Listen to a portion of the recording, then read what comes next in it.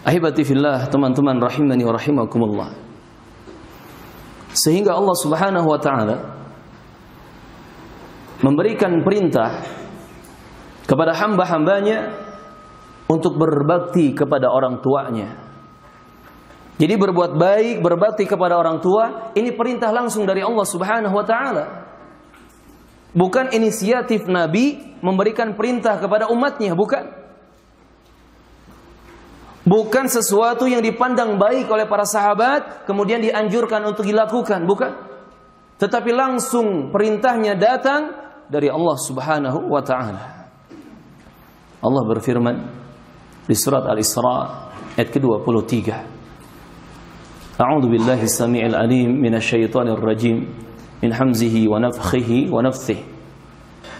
Qada rabbuka alla ta'budu illa iyyah wa bil walidaini ihsana. Dan Rabbmu yaitu Allah Subhanahu wa taala telah menetapkan agar kalian tidak beribadah kecuali hanya kepada Allah Subhanahu wa taala.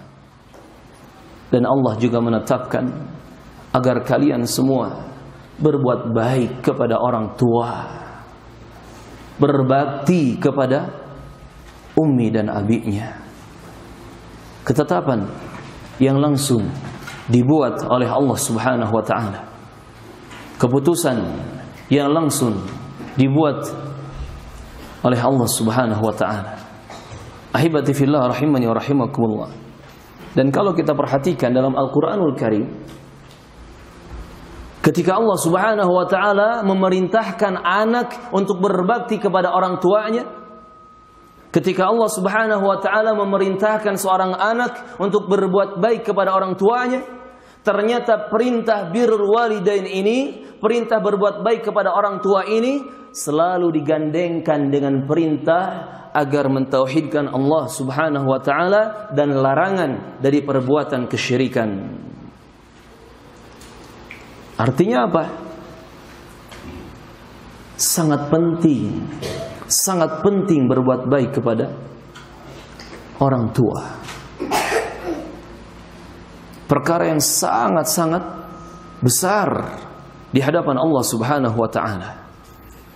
Kita sebutkan beberapa ayat yang membuktikan bahwa perintah dari Allah untuk berbakti berbuat baik kepada orang tua itu digandengkan dengan perintah untuk mentauhidkan Allah Subhanahu wa taala. Di antaranya Allah berfirman di surat An-Nisa ayat ke-36. Wa'budullaha wa la tusyriku bihi syai'a wa bil walidaini ihsana. Kata Allah Subhanahu wa taala, beribadahlah kalian kepada Allah Subhanahu wa taala dan jangan kalian melakukan kesyirikan. Jangan kalian mempersekutukan Allah dengan sesuatu apa pun. Dan berbuat baiklah kepada orang tua kalian.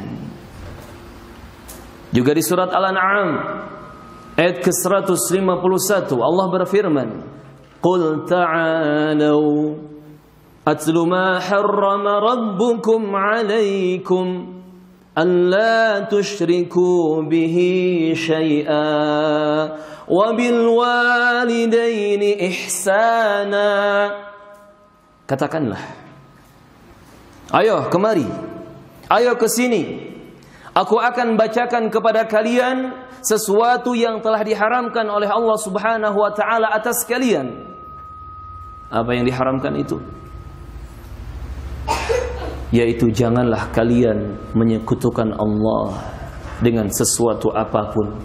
Jangan kalian berbuat kesyirikan dan hendaknya kalian berbuat baik kepada orang tua kalian.